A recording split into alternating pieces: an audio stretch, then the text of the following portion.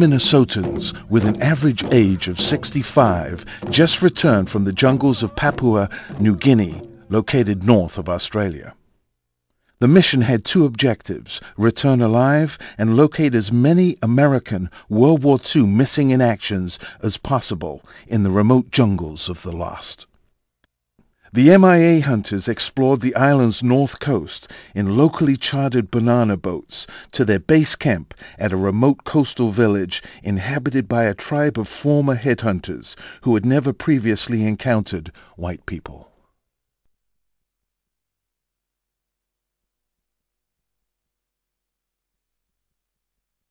While traveling through the bush towards their base camp destination on the coast of New Guinea, the MIA hunters were led by locals up a treacherous hillside dirt road to a place with a dark secret, lost in time since the end of World War II.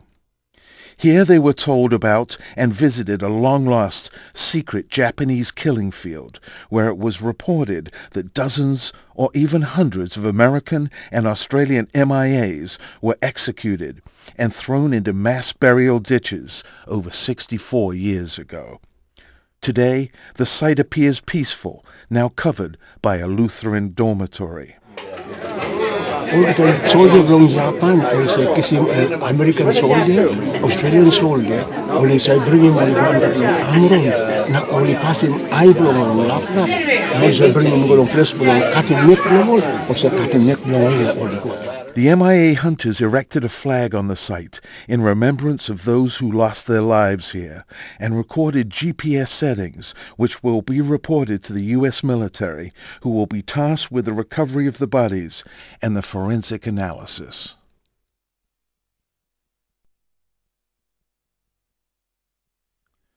The tropical New Guinea jungle is filled with wild and endless variation.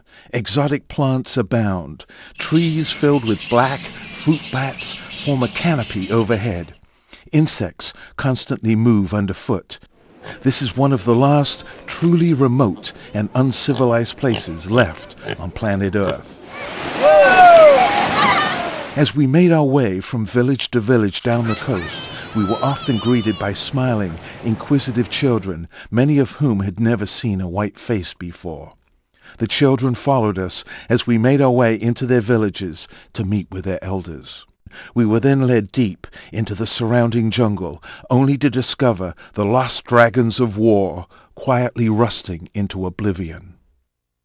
In all, five American bombers, those great aluminum birds of prey from another time, were found sleeping in their final resting places. Nearby was found the human remains of those brave souls who crewed those majestic marvels. Dear God, this is a prayer for fallen angels who have been lost to the world, but who were never lost to you. May their families and loved ones find comfort in knowing they are found and they are now coming home. Amen.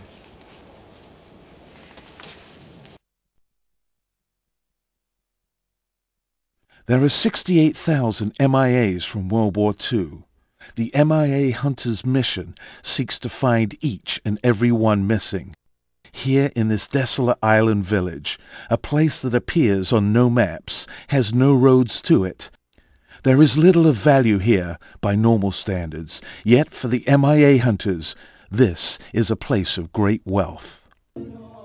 Informed of the visit by one of the advanced scouts, the village of former headhunters puts on a show in traditional costume designed to honor our arrival and celebrate the lives of those heroes who lost their lives so many years ago.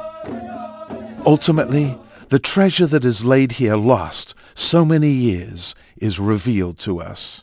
Here, collected by the local villagers over the years are 35 U.S. dog tags, each suspected to be MIA and each left here in the jungle for over six decades.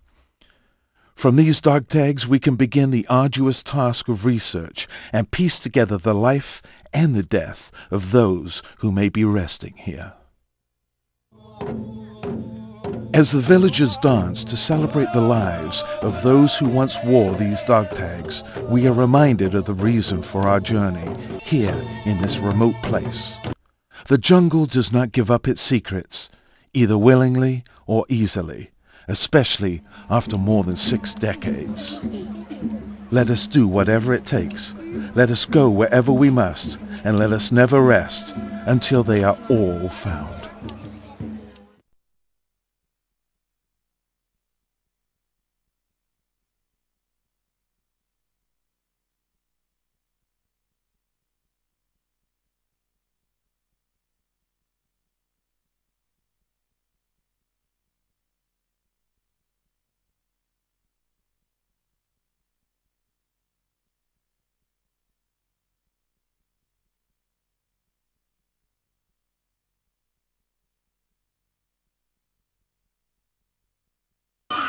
Ten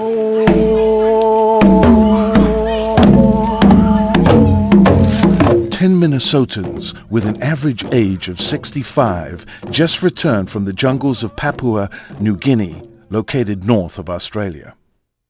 The mission had two objectives, return alive and locate as many American World War II missing in actions as possible in the remote jungles of the lost. The MIA hunters explored the island's north coast in locally chartered banana boats to their base camp at a remote coastal village inhabited by a tribe of former headhunters who had never previously encountered white people.